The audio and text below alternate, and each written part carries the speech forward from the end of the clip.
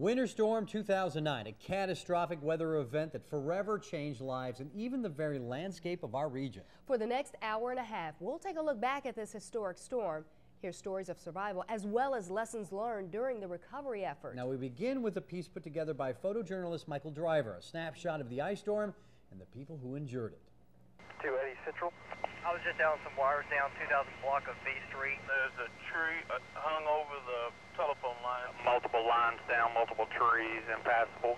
Go add that to the list. It is bad, real bad. There goes his power again. I had a hell of a night. Rough. Heat all shut down, nothing. Trees falling down over the roof. Whoa! It's unreal.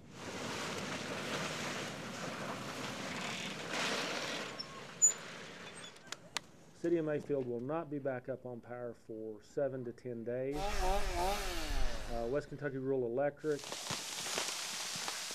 21 to 30 at best. We've got about 585,000 people without power across Kentucky. There's no heat, there's no light, these apartments are dark. It's really cold now. This is about the worst I can remember. We have premium and diesel and all, but I've just got this little $50 generator. It'll run one pump. Line's been down the road both ways, uh, watching cars in and out. Everybody come in, turn around, go back out because there ain't no gas here. Been waiting for over two hours just to check out. Was it worth it? Oh, yeah, if I want to eat. The line's not too bad. It's moving pretty fast. We only wait about a half hour. We're next to go in. What are you missing the most right now? Water and lights. We've been getting some heat just from burning candles, but we're all out of candles now. There's a lot of older folks here that, that they can't handle this. I don't know what we're doing. I have no idea what we're doing anymore. It'll all be okay. It'll be okay. I could sit around moaning about it, but it ain't gonna do me any good, is it? This has been the biggest disaster, uh, natural disaster in the state's history. We're going to be okay. It's going to take a while, and we're going to have to dig out of this, but we're going to get through it. Hi, I'm Local 6 Chief Meteorologist Jennifer Rukavina. Winter Storm 09, Kentucky's worst widespread weather event in history. Two main ingredients made it a recipe for disaster. Early in the weekend before the storm, January 24th and 25th, High pressure built in from Canada, spilling Arctic air southward into the mid-Mississippi Valley. Then on Monday, the Gulf of Mexico was wide open with moisture, and that moisture streamed our way going into Monday evening. The two created freezing rain, and that's what led to our significant icing event that crippled most of the region. Freezing rain can be explained as simply this. You have cold air aloft where Initially, that precipitation starts to fall as snow. It encounters a semi-warm layer in the mid-levels, which is what we were seeing from the Gulf of Mexico, as well as the moisture. As it fell through that layer, it melted and became rain. While at the surface, we still had that very cold air in place, and as it hit the surface, our power lines and trees, it froze on contact. That's that freezing rain.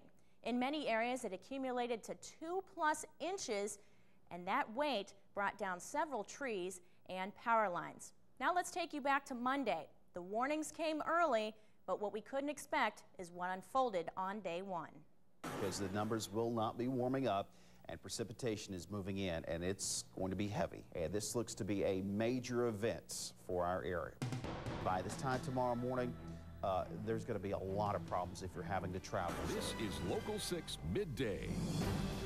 This afternoon is the time to get out and run your errands. An incoming winter storm tops our news at midday. And it's going to be a bad one. Unfortunately, for the folks to the north, we are talking a major snowfall, and for those farther south, sleet and ice. There are winter storms, and then there are winter storms, and this seems to be a, a major event kind of a supersized winter storm for our region. This ice storm is going to be much worse than the one that hit our area just last year, right? Yeah, this is going to be worse. And uh, again, we'll look at the totals coming up, but we could see over an inch of just pure ice. KIE 923 to Unit 35. Jackson Purchase Energy's dispatch room is the command center for 30,000 electric customers. It's where teams are keeping a close eye on the weather, and even before severe weather strikes, emergency plans are in place. In addition to getting crews prepared for an early morning, teams at Jackson Purchase also plan to stay late tonight and say when the dangerous weather comes, they'll be ready. Until then, they'll continue to watch and wait to see what Mother Nature brings. And the storm's actually gaining strength right now to our west. Make sure your family and you are braced for this. Be ready for this kind of storm. Jennifer Rukavina is part of our team coverage. She's here with a few tips for those folks in the last couple hours before things really start to turn south. Yeah, and the best thing to do is just be prepared. Be cautious, be prepared. The two major takeaways from that news conference today. Uh, the Illinois Department of Transportation has already treated the roads, pre, uh, pre-treated them with a brine mixture now. Uh, that goal is to keep the roads safe and drivable and keep them at least open. Now, the traffic was moving pretty good just a couple minutes ago. One group you're not going to see out at this hour, though, are road crews. They've actually gone home to take a little bit of a break before coming back to work what is expected to be a very long and busy night. And those crews were out most of the day across our region. This is Local 6 at 6. It's coming, folks. A massive storm will blanket our region with snow, sleet, and ice. Tonight, people are preparing for the worst. The storm is coming, bringing with it a dangerous wintry mix. Already starting to see freezing rain and some light sleet falling, especially along I-55 there. A wider view showing that this is just the start of This could be the worst storm in two decades. Mm -hmm. Those words tonight from the National Weather Service and Paula, National Weather Service doesn't talk like that. What do people that are watching need to know? The experts there, Paula, at the National Weather Service, not painting a very nice picture over the next 12, 24, 48 hours simply because we could see some dangerous situations. And I specifically asked if they thought this storm has the potential to injure people or worse. Here's what they said. Absolutely. You know, people need to take this very seriously. That's why we're here today. Just to be prepared. Joyce Andrews remembers the last time we had an ice storm. Our power went out. For days. Well, not this time. I don't want to be that way. Today she bought the last generator in stock at Lowe's. When the hurricane winds came through, our power went out for a little while. Our friends went out for a week. So she spent $1,200. So that this time around, she wouldn't be in the dark or in the cold. You never know when your power is going to go out. So yeah, it's worth it. Salt trucks are out in McCracken County looking for any slick spots. Other crews are also preparing for the storm by mixing that salt brine, and then local businesses are getting their parking lots ready so employees can get safely to, to work. Sleet, snow, and freezing rain, the first of a two-part winter storm system making its way across the region tonight. Check out this video taken within the last hour. This is where it started to come down again in the Paducah area along Lone Oak Road. And then in Marion, Illinois, freezing rain and sleet came down along Route 13 and Interstate 57 just within the last hour. Very dangerous conditions through the overnight hours.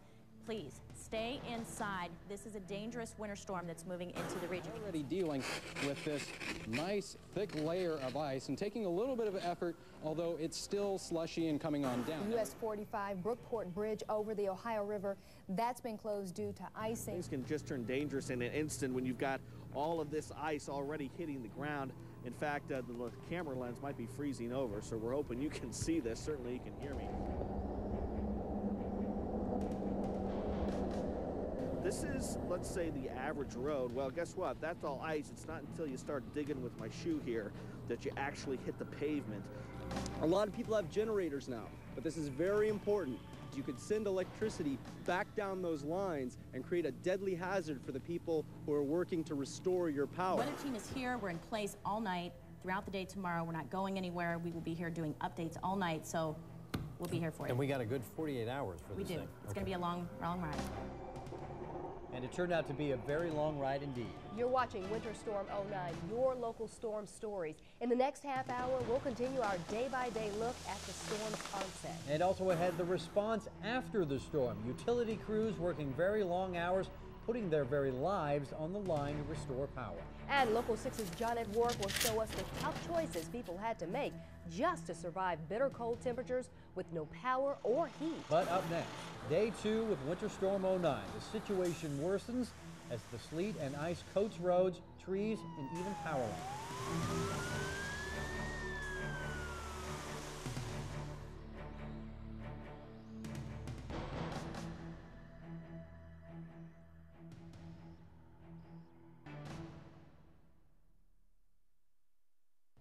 Local 6's special coverage of Winter Storm 09 continues now with day two of the storm. January 27th, roads and trees already covered with ice and sleet, but the worst was still to come. The government emergency response begins as the winter precipitation continued to fall.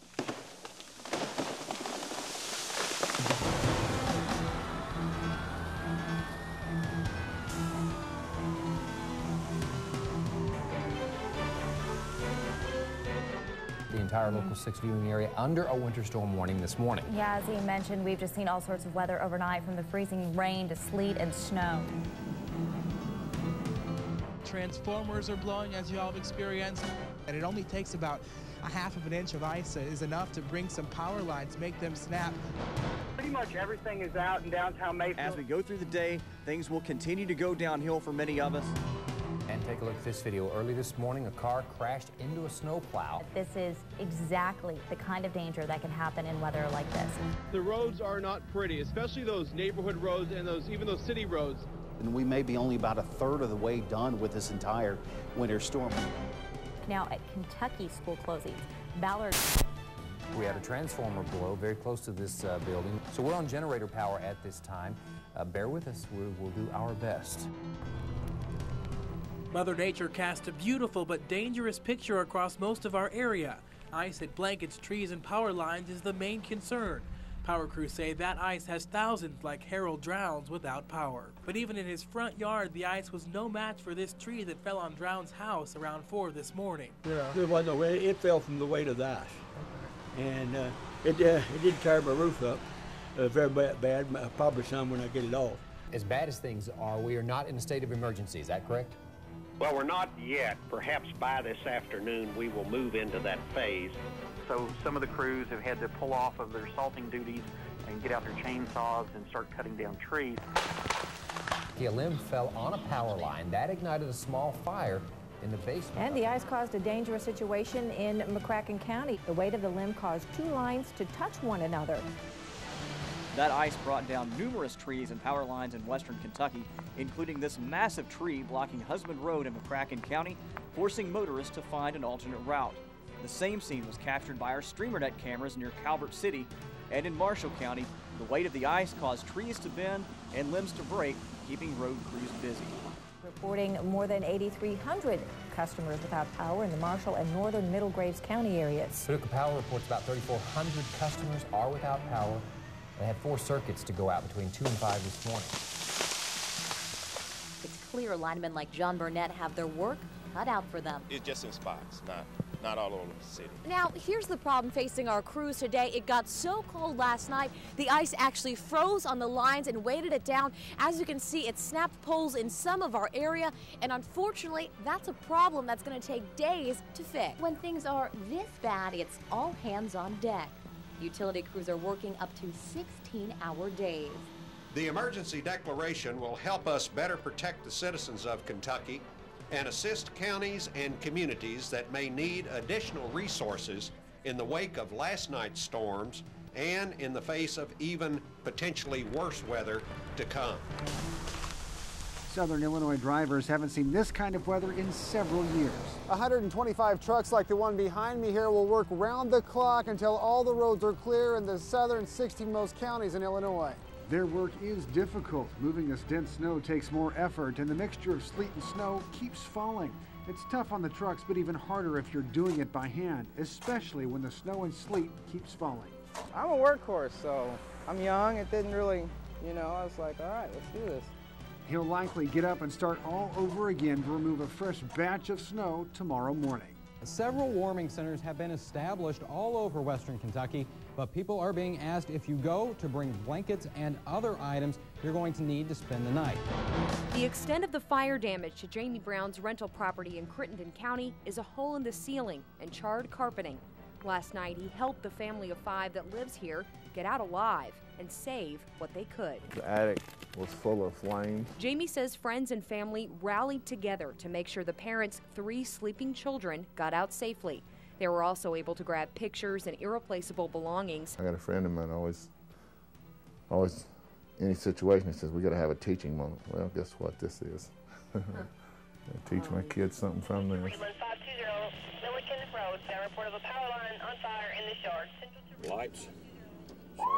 that report of a power line on fire in this yard. Lights. For firefighters across the region, it was a common alert all day. By early afternoon, Reidland Farley Fire Chief Richard Tapp responded to more than 20 calls like this one. So we check to make sure there's no fire danger around any of the houses. And there were five or six houses affected by this one line pulled down. The call tells firefighters power lines are down. That means the possibility of an electrical fire. This time, first responders can quickly give the all clear, but they never know until they're on the scene how serious the situation is. Out of the 25 or so that we've ran, we've had two that were actual structure fires. They can't afford to minimize any possible threat. In an ice storm, that means a lot more calls than usual. Well, you're the only state right now with a state of emergency. So, you know, that, that's obviously a huge deal. But estimates now uh, coming out of northern Arkansas, 100. There's my case 150,000 people without power, and obviously, with things like that happening for the rest of the night, we're going to have more people uh, losing power. So it, it, it's still a very dangerous situation. Is it downright bad and dangerous out there? I would say by tomorrow morning it will be. Whoa! And as bad as it was on day two, things are about to get even worse. Ahead, we'll hear amazing stories of survival. Local 6's Johnette Warwick joins us later with a look at life inside the warming shelters. But next, day three, and a sense of desperation as a fresh blanket of snow falls on top of the ice and sleet.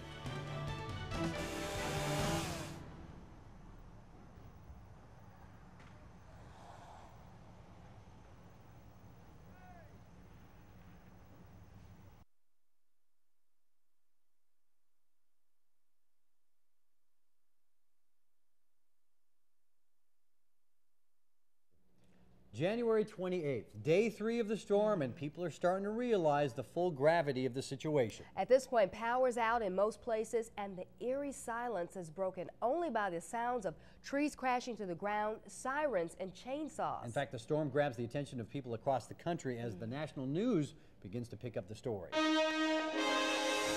Good morning. America on ice. A powerful winter storm system is dealing a crippling blow to much of the eastern half of the country. At least 19 dead, hundreds of thousands without power.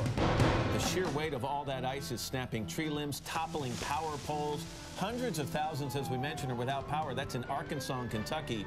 Could be days before power is fully restored. When is this coming to an end? It's unbelievable. We're seeing some very heavy snow right now. All the snow is coming down on top of the ice. Right. It's so eerie to drive in and see just so much black. Creepy, creepy feeling. Firefighters had to battle fallen tree limbs to get to a fire. And the family was on their way home. They had to turn around and go to the fire station to report the fire in person because phone lines were down. Ameren is reporting 8,400 people without power right now in this area. Paducah Power Crews are working to get power restored to Parkview Nursing Home overnight. A lot of people are wondering, where can we go to warm up? We maybe need uh, additional cots or blankets, but we can accommodate a number of other people. I think when daylight comes, folks are going to realize just how bad it is. The one thing everybody hears besides the sound of trees falling is the sound of chainsaws. Almost every secondary road is blocked.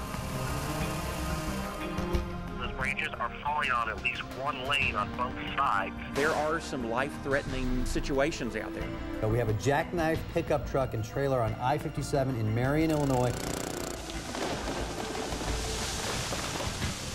Yep, that's when my power went. that is my neighborhood. Five days is probably optimistic. You know, people cannot can only go so long without heat. Right. That Murray State University is going to close its campus. Anywhere is better than here. Folks here are forced to wait two or three hours, but they say it's worth it. Yeah, if I want to eat. A lot of crackers, mainly peanut butter. The Walmart on the south side of Paducah, customers were only allowed to spend $25 each. And some of the places that were open this morning ran out of stuff. They don't have anything anymore. Just got this little $50 generator. It'll run one pump. I was at the gas station in line for an hour and a half. People were pretty, pretty peeved. They were not too happy because some folks were getting out of their cars with their gas containers. Other people were getting mad that, you know, I've been sitting here waiting in line and you're cutting in front of me. We will find a way to get fuel in here. I want to wait. I can't go nowhere. I spent the night in my truck last night.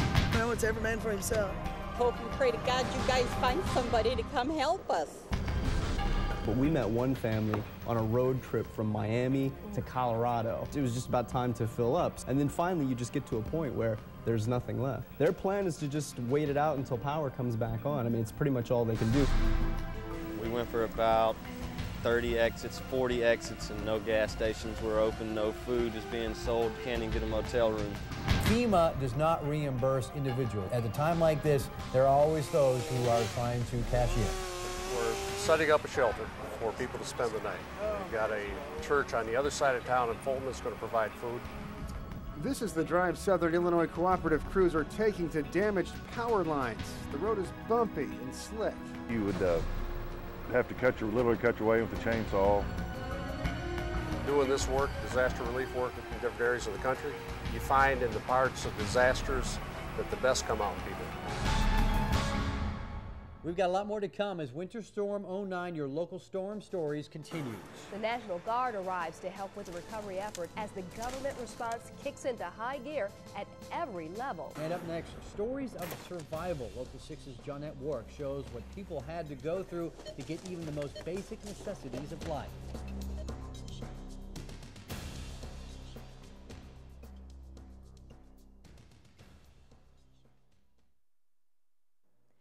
Welcome back to Local 6's special coverage of Winter Storm 09. As the power outages increased, people started to wonder, do I have enough food? What about gas or kerosene for the heater? That created a logjam at the few stores that were even able to open. Hopefully you prepared on Monday. Gas stations across the region quickly running out of gas. We have no regular gas, unleaded gas, no kerosene. Been sitting here since approximately 4 or 5 yesterday. Just kind of been hanging out, waiting, hoping. And the news is there is no gasoline, mm. at least in the Paducah, Lone Oak, uh, Reidland surrounding area. We went for about 30 exits, 40 exits, and no gas stations were open, no food is being sold, can't even get a motel room. Customers were only allowed to spend $25 each. Folks actually waiting in line two, three hours, stocking up for the days without power. Been waiting for over two hours just to check out. We have a fireplace, so we're planning to attempt to cook in the fireplace. It's been bad, you know, it's, uh, but it could be worse. That's the first time I've ever seen something this bad. We're actually filling these up for other people we know that are about out of propane that we will find a way to get fuel in here. We are hearing that as of a few minutes ago, that the Exxon station at exit 11 in McCracken County is still open. As soon as you said it, we got in the car and left. Well, if you do have to get gas, pack plenty of patience. Yeah, I don't know what's ever meant for himself. The line is really, really long inside. You can get it, you better get it now.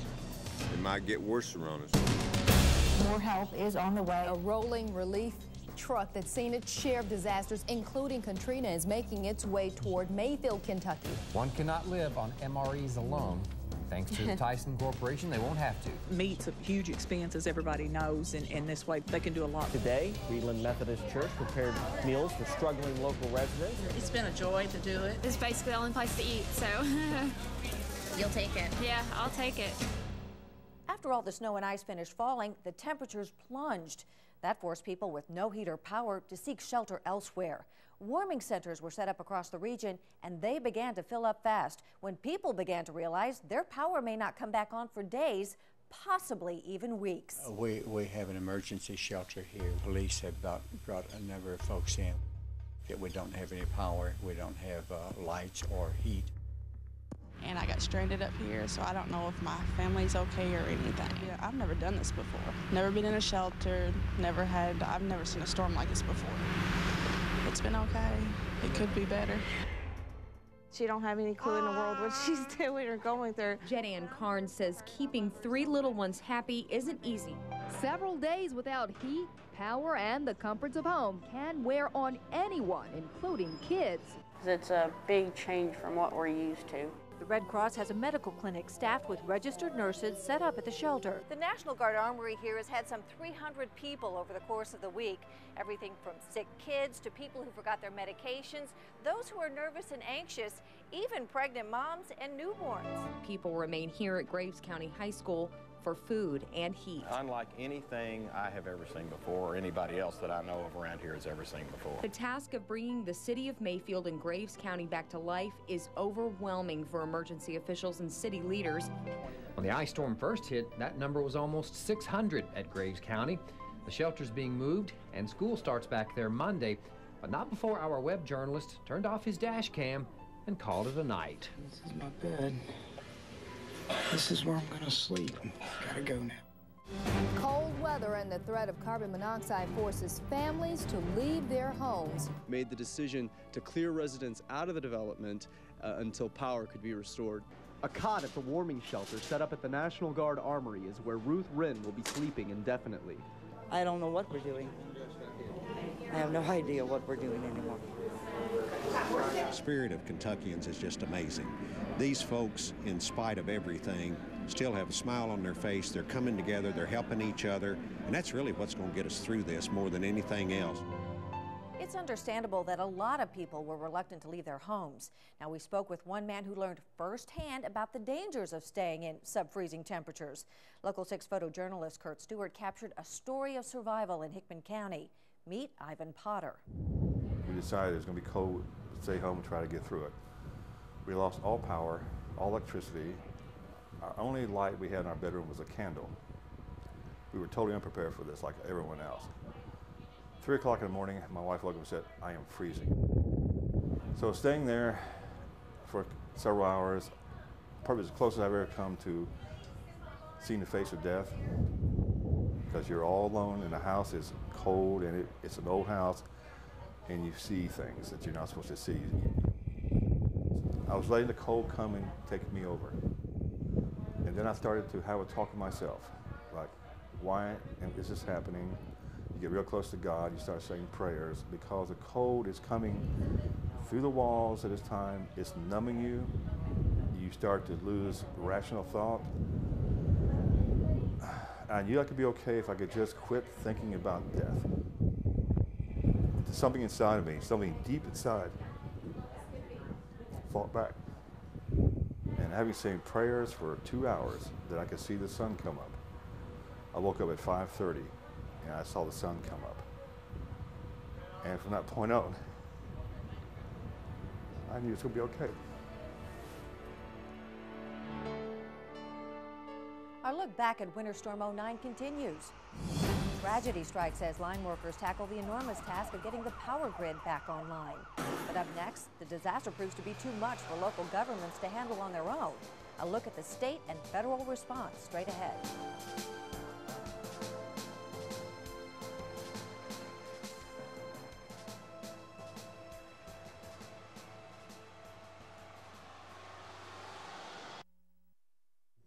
Damage from this winter storm stretched our resources well beyond anything a local government could handle. And it drew a quick response from Kentucky's government. But as you'll see, one other state affected by the storm was busy dealing with something else. The worst I've ever seen, I think, as far as devastation from an ice storm. 60,000 people across the state of Kentucky are without power right now, with the worst problem being right here in western Kentucky. We have Governor Steve Beshear on the phone right now. And, Governor, from what we understand, as bad as things are, we are not in a state of emergency. Is that correct? Well, we're not yet, but we are considering that as we speak. There's no heat. Poles down every corner, and I had a hell of a night. There's no light. I don't know what to do. Wire everywhere, and it's just, it's total destruction. There was hardly any help. Oh, God, help us. How about now? The emergency declaration will help us better protect the citizens of Kentucky. It means local governments will have access to the state's emergency fund to pay for overtime and other resources needed to clean up in the aftermath. The sheriff on the way in was showing us some of the uh, power line difficulties and, and uh, tree damage. And last night about 9 o'clock, the president called me in Frankfort. And by 10, President Obama declared the state of Kentucky a federal disaster. We've got a lot more help on the way.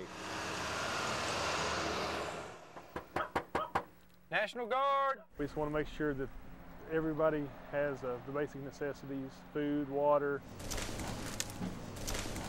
Transportation is another major concern. Still today, trees block roads. Guard members follow heavy equipment pushing trees away. Until now, neighbors and local leaders have been on their own. Last count, 74 National Guard units on the ground, 68 more on the way by 5 o'clock this afternoon. Marion Mayor Mickey Alexander and Judge Executive Fred Brown are grateful for the help these National Guardsmen are providing. Are carrying water and ready to eat meals with them if someone is out there and they find them, they need water or something to eat, they give it to them. Even if they have generators, food, and water, they're, they're happy just to know that someone has been out to check on them to make sure they're okay. The governor is already starting to examine the state response to this disaster. Well, we'll always learn things uh, anytime you go through this. I can't see us having much up in the city of Metropolis before the first of the week, if any. The mayor of Metropolis is also concerned about other communities in Illinois who are without the aid from their state or federal governments. We deserve better,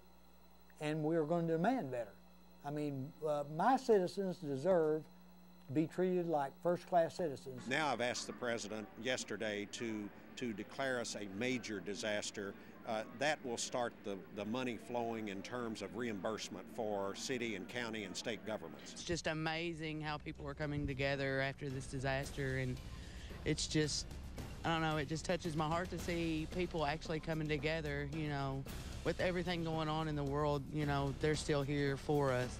Well, it's one thing to have no phone or electricity, but many people would have gone without food, water, or a warm place to stay had it not been for the Federal Emergency Management Agency, or FEMA. Though FEMA had its critics too, as this crisis continued mm. from hours into days, some local officials wondered aloud, where's the cavalry?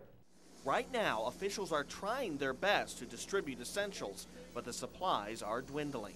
We, need more water and more food for uh, the people. Uh, we need uh, we need kerosene uh, and, and, and those kinds of things because people are heating their homes with with kerosene heaters. So. FEMA is assisting the state with supplies. The state has established two logistic staging areas. Now, the situation is also dire in Lyon County, with 100% of that county still in the dark. That's right, and emergency officials there have been able to get their hands on generators, but those generators are being used only for the vital necessities. We have not heard from FEMA. We have not heard from the Red Cross. Uh, we're, we're, we're on our own. But I can get you some canned goods. Darlene Timmons has been here at Helping Hands in Smithland for the last week, working to get whatever she could to the people of Livingston County. The basic needs are, are water to drink because most of them don't have anything to drink and then something to eat. Now, help has finally arrived from FEMA in the form of water and food. It's a lot of help. I've got three families from Lyon County right now living with me. And to help distribute it, the National Guard. We're obviously wore out tired. Well, FEMA workers have joined the relief efforts today in Lyon County, Kentucky. That's right. It was a very hard hit area, and emergency workers there are hoping to make a lot of progress today. And we have Jamie Green, Sergeant Jamie Green from Lyon County Emergency Operations on the phone right now. And uh, Sergeant, update the situation for us there, if you will. We actually just restored some power in the city of Eddyville. Now here's your 10 at 10. And we start tonight with breaking news. That's right. FEMA reports emergency meal kits given to storm victims in Kentucky and Arkansas may actually contain peanut butter involved in that massive recall. Well, we've heard a number of reports that scam artists are selling generators off the backs of trucks. They're encouraging people to buy the more expensive units with the expectation that FEMA will pay them back. We can't stress enough, there is no truth to that whatsoever. As Winter Storm 09, your local storm stories continues. You can make it through a disaster like the one that hit our region on government help alone. Yeah, it also takes simple acts of kindness. So look at neighbors helping neighbors a little bit later. And utility workers pour in from all over to help. But up next, the drive to get the power restored takes a tragic turn.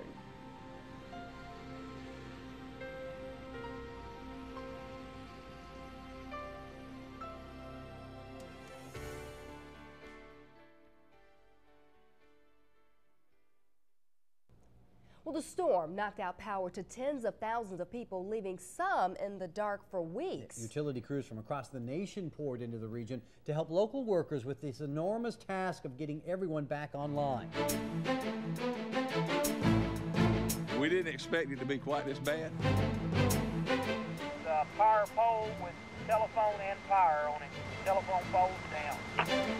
When this thing hit, it exploded on the ground. I'm Garen Thomas. We'll have an update on power situations. It's freezing rain is causing some power problems. Now, here's the problem facing our crews today. It got so cold last night, the ice actually froze on the lines and weighted it down. As you can see, it snapped poles in some of our area, and unfortunately, that's a problem that's going to take days to fix. More than 100 Southern Illinois cooperative workers will be up through the night trying to restore power to homes. We have probably two weeks to three weeks worth of work we must do. Power crews working to restore electricity in Lone Oak early this morning. These crews uh, seen arriving here coming from as far away as Wisconsin. You're looking at crews from McMinnville, Tennessee that have been brought in by Jackson Purchase. The progress that we're doing, people are actually starting to see work from that. Uh, you know, their, their lights are coming on because of that. Roughly 500 homes are still without power in Metropolis. That number is slowly will slowly drop the rest of the week as homes are brought back online individually. We're stacked up from floor to ceiling in here. These linemen coming in from, I guess, all over the country. Where are you guys from? Alabama. Alabama, thanks for coming. All of us have put our lives on line and our lives on hold to get this uh, restored. It's just nice to be able to come up here and help, too. We appreciate y'all telling you. Line workers have some of the most dangerous jobs in the country. One lineman from out of state who sacrificed time with his family just to come and help our region and help restore power wound up losing his life.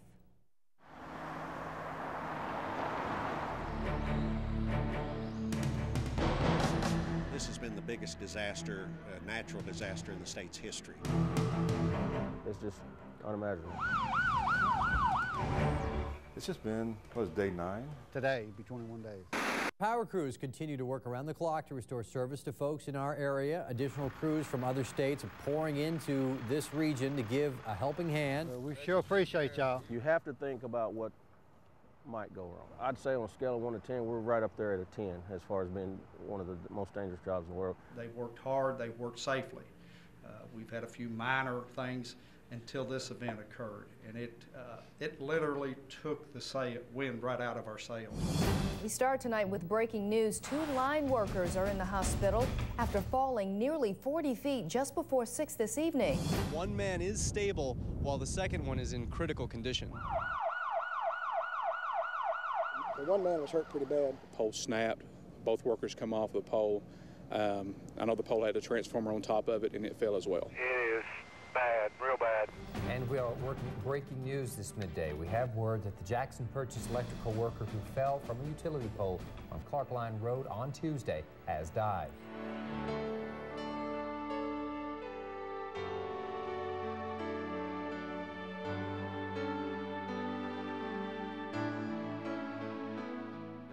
Very, very tragic thing that happened, and uh, our hearts really go out to the to the family.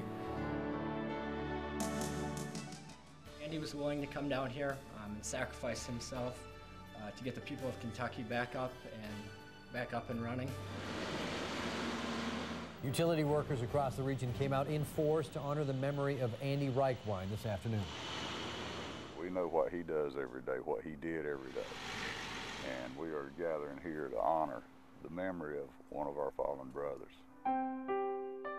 Andy was a, um, a journeyman lineman. He was also a gentleman. He's also a good friend. Andy sacrificed potentially a Valentine's Day with his lovely bride and his little girl to come to Kentucky. He sacrificed when he had an accident. It's a tragic event where someone came to Kentucky to help us in our desperate time of need.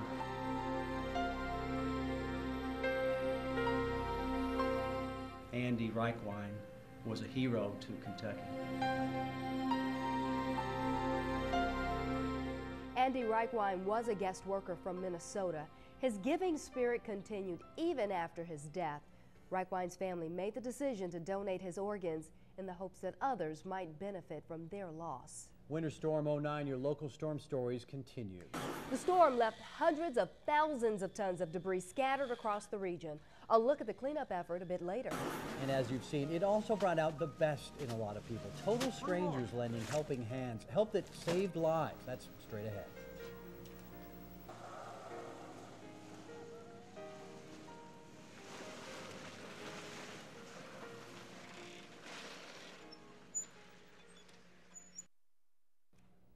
Winter Storm 09 was the worst natural disaster in Kentucky's history. But as we've seen before, tough times can also bring out the good in people. Here's a look at some of the random acts of kindness we captured during the storm and its aftermath. Okay, well, it is in times like these that it is very important to help one another out. Yeah, and we got a great story here. Now, Local 6's Beth Bradley knows from personal experience. Uh, that would be her truck right there. When she went to check on her car, a little later, the two men stopped, helped her out. He said, in these times, it's just what you're supposed to do. They got her pulled out of this, uh, the ditch that she was in. Hey, there it is, right there. Oh, she's dancing. That's pure she's joy and the thumbs up. As volunteers passed out 4,000 bags of ice, 60,000 bottles of water, 4,000 gallons of kerosene, and food that went so quickly it couldn't be counted. It seemed like everybody's just pitching in, helping everybody. Well, as so many utility crews continue to restore power across our region, area schools are thanking those linemen and companies for all of their hard work. Inside Crittenden County Elementary, third grade classrooms are jumping right in to show utility crews they're a cut above the rest. After all the thank yous are collected, teachers will pass them on to local utility companies. We hope it cheers them up and makes them feel happier inside. Now, here's the problem. The Hodges were using a generator to heat their home right against the back here. No windows were cracked, so by the time the Boy Scouts arrived, the couple was slowly being poisoned by carbon monoxide. But I didn't realize it till it was just almost too late. These guys came in and told me I needed to go to the hospital. They saved, saved my life. Like, it makes me proud that I'm a Boy Scout. Covering Winter Storm 09 was quite a challenge. Yeah, Local 6 reporters share some of their own stories of trying to deal with their own storm-related problems while doing their job of bringing you the news. That's coming up a little later. And just about everywhere you look, downed trees and limbs. The enormous task of cleaning up after the storm straight ahead.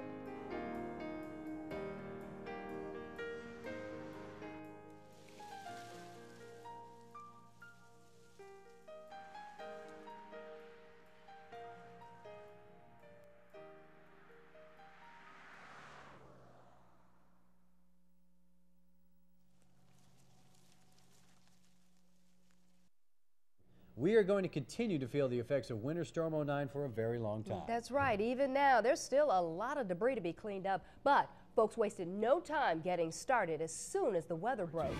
This is Local 6 at 5. You see it everywhere, piles of debris littered across our viewing area. Ice is mostly gone, but the aftermath remains ice has melted and what's left of the storm is now littering trees and yards. Tell you what, the number of downed trees and limbs in our viewing area, it is, it is enormous. In Paducah alone, city leaders estimate they weigh a total of 100,000 tons. A strong gusty wind has the potential to create a dangerous situation out there. And if you've got a road that's blocked or a front yard that's a mess, you know how eager you are for it to be cleaned up. But don't let that eagerness let you fall victim to a scam. It was a common sound in our area today. Unfortunately, so was this. These winds created a dangerous situation for folks like Crystal Fuller, just trying to pick up the pieces from Winter Storm 09. I mean, you can see the trees around us and their uh, limbs just hanging down like broken arms. The worst storms to hit our viewing area is really bringing out the best in people. The work is hard. And there's no end in sight. But the Southern Baptist Convention and several other volunteer organizations are knocking on strangers' doors to help. We enjoyed working with the people in Joppa. It's a little bitty town in the middle of nowhere, you know, but but the people are good people and, and they need help. The state of Kentucky has now stepped in and offered a helping hand to counties buried under those mountains of tree debris. Local 6's Jennifer Horbelt joins us now live from Marshall County. And Jennifer, a lot of people there have to be very happy that there's going to be state help for this, what is a monumental task. It's just the news James Kane was waiting for. Now that he knows the state will help counties clear debris, he can finish the mammoth job of cleaning up the debris in his yard. Kane's not sweating the details. He's just glad to know he's getting help for a yard full of Winter Storm 2009's mess. I can be hauling probably till July. And uh, so what they can take from me is a whole lot of help.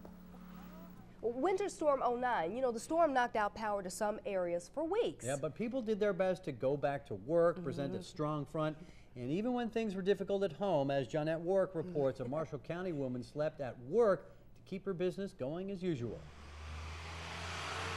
Business is a little slow at the Village Styling Shop on Benton's Town Square. But now that the lights are back on in the business district, customers are starting to trickle in again. Well, good to see you. And getting a haircut and talking to an old friend just might make Orville Woodcock feel a little better. I was wondering how everybody's doing. Virginia Whitaker has cut hair here since the early 1960s. It's her home away from home. But for almost two weeks now, it's been her home permanently. Like many of her customers, she has no heat or electricity at home. You know, my lights is gone, my water's gone, and everything, but at least I'm alive. And I had this to come to. And she smiles when she says she's been sleeping every night sitting up in a chair. If I slept on the floor, I couldn't get up. Virginia eats dinner at a nearby church and knows she could stay in a shelter, but. It's hard going from one place to the other. I'd rather just get set up in one spot and stay there. Besides, Virginia says she's used to adversity. She's one of 11 children and raised three of her own all by herself. And if you think about it, there are advantages to sleeping at work. One thing about it I like, I'm here on time. I never was on time when I had a place to stay, but here, I just jump right up and get with it. To get her through the night, Virginia has a lamp and her favorite book. I'm making up for a lot of lost time. And she's optimistic she'll be back in her real home and a real bed soon. And we received some good news from Virginia after her story first aired. Her power at home was restored the very next day. That's good news. Well, Local 6 also had a share of people living at work during the storm and its aftermath. We'll hear some of those stories a bit later. Yeah, but coming up, a couple that's lived through a string of natural disasters, including Winter Storm 09, Hurricane Katrina, and more. But when we return, for a while it seemed we just couldn't catch a break. Meteorologist Kyle Mount shows us some of the weather setbacks that people had to deal with in the aftermath of the ice storm.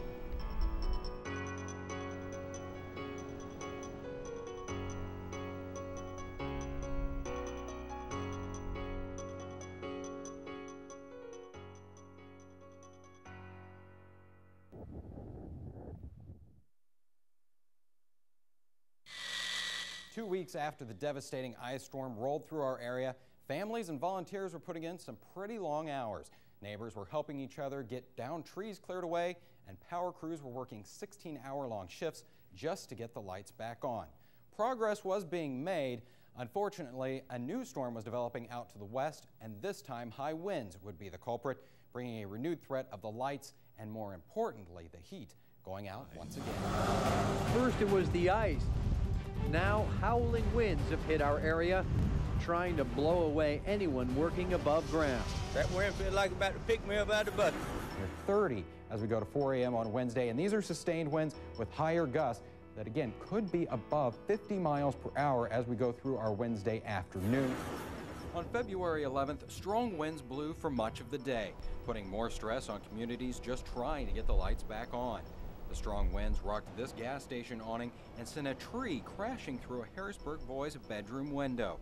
Fortunately, no one was hurt. There was also no out driving the wind either. This tractor trailer was blown over on Highway 45 in Graves County. It's like a tornado almost. Uh, I'd rate ice as, a, for me, the scariest, like what we just had a couple of weeks ago. And right below that would be the wind, high, you know, wind like that. Of course, one of the most disappointing results from the high winds, more than 3,000 homes were once again in the dark and the cold. Several things had to come together to get our near hurricane force wind gusts. First, we had a strengthening area of low pressure. Notice these white lines or what we call isobars. The tighter they are together, the stronger the winds will be.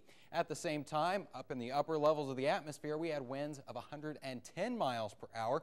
So as the storm system raced off from Missouri up into Canada, we had the winds coming down behind the system and gusting at times over 60 miles per hour in Paducah, even over 70 miles per hour in Owensboro. The strong winds also caused headaches for construction workers. Montgomery Gardens owner Richard Montgomery said the frame of his new building was swaying when he arrived, and just minutes later, the wind knocked it to the ground. It just makes you sick, you know. Um, again, I, am just I'm just thankful no one was out here uh, working, and and uh, thank goodness we had rain this morning where the workers weren't here.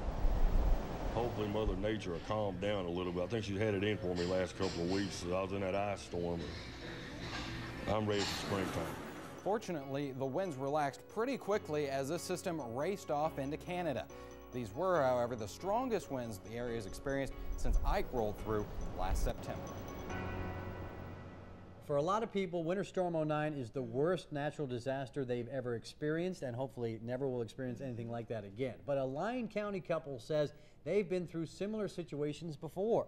Dottie and Ronnie Brown moved to Eddy Creek two years ago. Now, in the past four years, they've been through three hurricanes, one tornado, and now an ice storm. Photojournalist Chad Darnell met with the couple who, at the time, had been living, get this, 19 days without power we're thankful that we've got this. We figure that uh, within in a week, maybe a week and a half, no more than two weeks, that we would have electricity. But I'm, I'm almost certain it's going to be a couple more weeks before we get it. Nobody has come to check on us. Uh, nobody from Lyon County has knocked on my door. Nobody comes out here offering us help or anything, or even to see if we're alive. We could be dead. This is 19 days, isn't it? Three hurricanes in one year, and then a, a, tornado, and then the ice storm. It was it was our dream home, but that's all gone.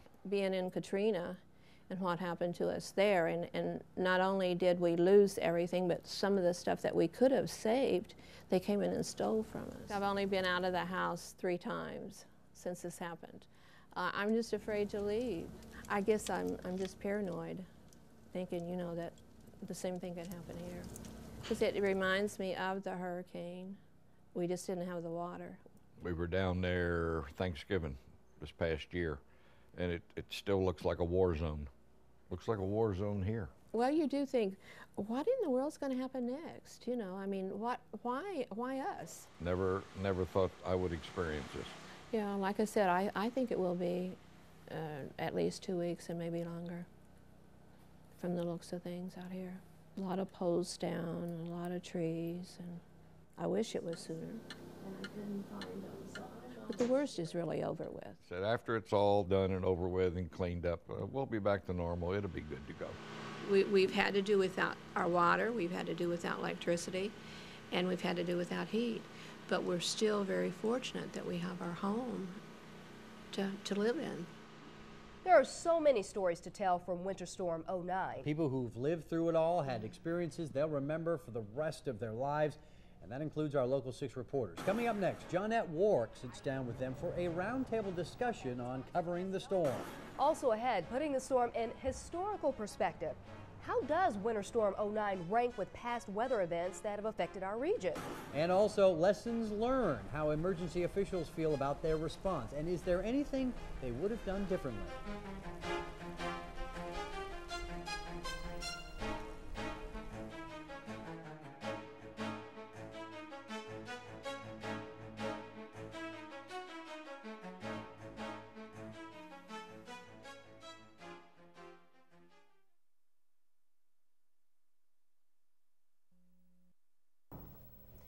Everyone who lived through Winter Storm 09 has a story, and that includes our reporters here at WPSD Local 6. Uh, they have quite a, a, few good stories to tell, so we have gathered them all here in the studio to talk about Winter Storm 09 and, and their reflections on it. And right before the storm came, our weather authority said catastrophic several times. We knew the storm was coming, and when you're a reporter or an anchor, that means you've got to be here. It doesn't matter if there's trees across the garage or yeah. whatever. You have to be here on a day like that. Within five minutes, I was in a ditch. Um, I, I, was trying to go around one of the many trees out there, hit a little piece of ice, and, and I was in a ditch. And this was at night. This I is at three. This three is in at the three morning. in the morning. That's scary. And Mason came to get me, and I've never been so excited to see Mason in my whole life. He's a photographer. Here. He's a photographer here, and I, I, Mason thought I was nuts, but I was just like, oh, I'm so happy to see you. I really didn't realize how bad it was. How bad it was going to be because no one could imagine that it was going to be mm-hmm. as bad as it was. Until me as a reporter was out there with a photographer on a fourth a tank of gas, waiting in line for an hour, hoping that there would be some gas left for us. You don't realize how bad it was. We did pack our bags. We did bring our toothbrush just in yeah. case we got stuck at the station that night. And apparently, some of us did. I know Jennifer spent the night. Garen, you spent the night. Who else spent, I spent the Beth night. spent the night? I was too afraid to drive. As we were covering the stories and coming back with the stories, we would all be talking about our own experiences and do you have power and, and how is your house looking and how are things like where you are. We run home and get things and come back to the station because we were, you know, doing coverage pretty much all day, you know, going through. So it was exciting at the same time as, you know, a little nerve wracking as well. You know, people got kind of cabin fever after a while Yeah. of, you know, wanting to go home and be with their own families or check on things. Uh, but it was a good experience. You, you- you know, I think Garen touches on something. A lot of times we cover stories and we're not a part of the story. Yeah. I think Yeah. we all became a part of the story We were, because we were going through what everybody else was going through. Um, you know, and I think that became obvious when people started staying overnight. I was one of the stubborn ones who went home and I wanted to sleep in my own bed, but I got to work and you know, Garen's walking around with his PJs, Yeah. and you know, Lauren's showing up to dry her hair. I, you know, I mean, we all of a sudden I saw was that each other. I didn't have power, but I washed my hair in the cold, and then I came in at 10 o'clock at night during his shift with the hair dryer, plugged into the generator, and when I heard the buzz of my hair dryer, I was like, yes! Yeah. Despite the laughs, it was worth We will, of course, be there as well, and we will keep you up to date on what he says and All of a sudden, we were on the air continuously, going from early in the morning until late in the evening because folks were telling us we were their lifeline.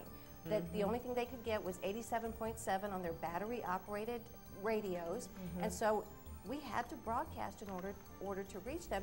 We didn't have scripts. No. I know you guys would go out and you would gather the news, and uh, upon coming back, you didn't write anything. You just marched right out here to the desk and started telling us what happened. It was not, it was nice not to have a script. in ways it made it kinda was. easier, but it, it, it was very different. It really very different. Journalism kind of in, in its raw form. You know, we were going out, shooting the video.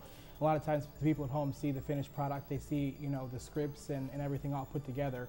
We were kind of thrown off at times because it was just like, okay, put a mic on, go, do this. And the photographers, the editors, you know, they were, weren't really cutting the video. They were just trying to get stuff, you know, on the air. And uh, a lot of times we were saying, look at that video. And because we're so used to people having power, it, you know, it's the first time we'd seen it, but we had to realize that people can't see us, they're listening to us. And so uh, we had to sort of rearrange how we did things and how we said things. You would just go and try and get as much information as you could. Where are the shelters? Where are they handing out bottled water? And you wouldn't stop to go to the bathroom. You wouldn't stop to eat. You just pushed yourself harder than you thought you ever could. And when you came back, you still felt guilty that you were coming back to the station that most of the mm-hmm. time had heat, most of the time had electricity. You still felt guilty coming back here Because and- you were warm, and you wished, had water. wished you could have stayed out longer with the people who were watching you, who were depending on you. This really touched my heart a lot. We talked to um, one gentleman, and uh, he was with Jackson Purchase Energy. He'd come from East Tennessee, I believe, and um, he had mentioned that he was happy to be here because he knew that any of us, if they were going through the same thing in East Tennessee or, or anywhere else, that folks from here would go to, to help him. So that, that really meant a lot to me. And they've got their own families to worry Yeah. about, you know? I mean, this, this poor Andy Reichwein, I mean, he's left a four-year-old daughter, family members, but uh, literally put his life on the line to, to help people here um, get power back. And when you see the work that a lot of these guys are doing, uh, I mean, it's it's amazing that there haven't been more accidents like this. I mean, we sometimes we, we see the footage that, that the photographers bring back, and there are people in trees with chainsaws with one hand. As the as the shot pulls back, and you can see how high up they are, and it just looks so dangerous. It's it's amazing to see the risks that are being taken to restore power to clear debris. Well, you have to think all these systems, especially the rural electric systems, those were created over years and years and years of work and infrastructure. I mean, we didn't just have lights all of a sudden one day. A lot of those systems were created and, and added onto over time, and they have rebuilt them in a month. And that just, that's Literally. amazing to me. Literally rebuilt years and years and years of work in a month. I remember the Hickman fire chief told us he went door to door, just volunteered, worked an 18 hour day, mm-hmm. and at one house they found an old couple side by side in their La-Z-Boy recliners, huddled up with blankets, holding hands. And if those door to door checks wouldn't have been there, if they wouldn't have gone, knocked on that door, who knows what would have happened. I think really there was a community here at the station that started to help each other because not only were we helping one another, but some people, you know, production, their families were staying here. As people started to get power back on, you were giving rides, showers. Gabriel showered at my place. Thanks, man. Yeah, no problem. And uh, Todd Atchison, the web uh, journalist, he uh, came over and did some loads of laundry. So there was a community that started to build amongst the co Well, we certainly learned a lot in Winter Storm 09, and we've got much more on lessons learned coming up, as well as how our storm ranked with others in our region. Stay with us.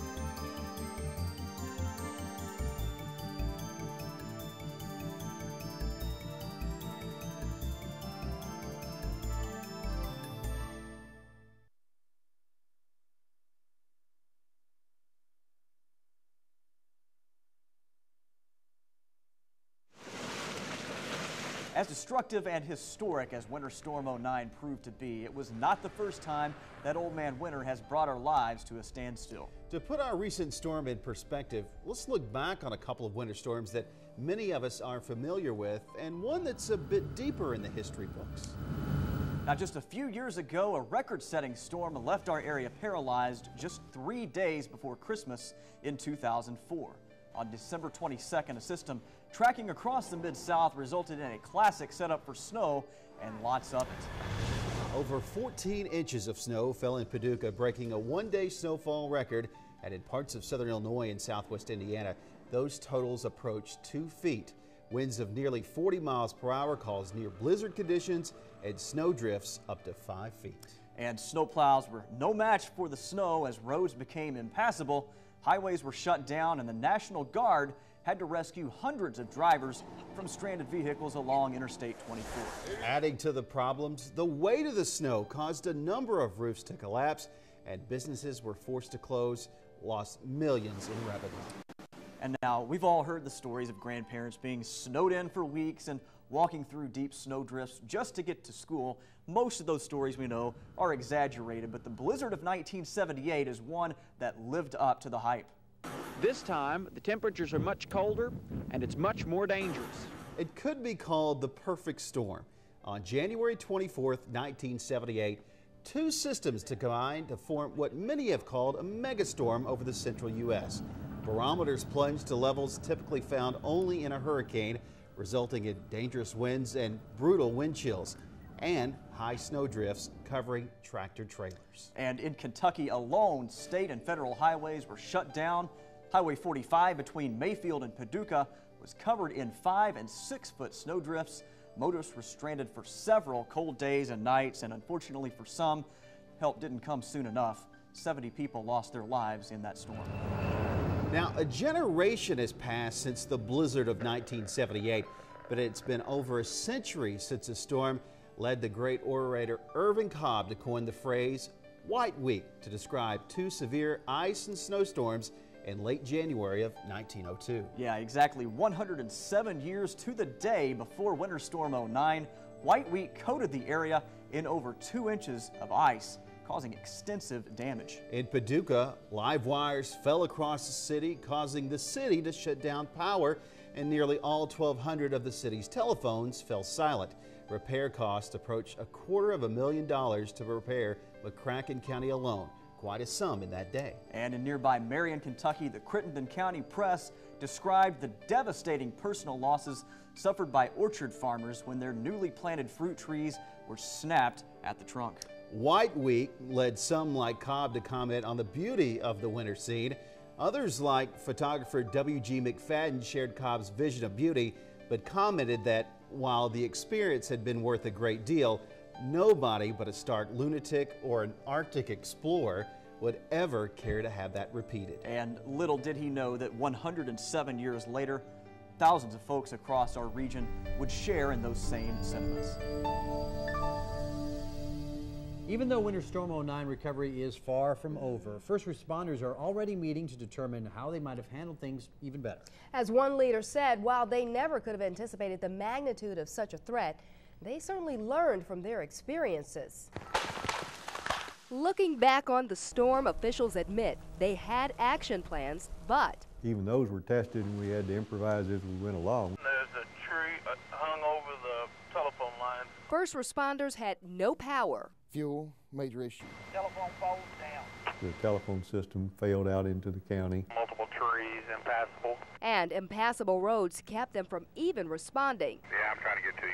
Callaway County Emergency Management Director Bill Call says a dedicated emergency operations center is needed. You'd uh, have your resources all in place, and the community uh, uh, workers would know exactly where to go. McCracken County Emergency Management Director Bob McGowan says plan your shelters in advance. Where can you send people? Nobody has electricity and it's cold. Several locations answered the call, including the high school in Graves County. We had six, seven hundred people in that shelter. At a joint emergency personnel meeting, the crisis switched from ice to fuel. We had to find a facility that had a lot of fuel and also was able to fuel motor vehicles.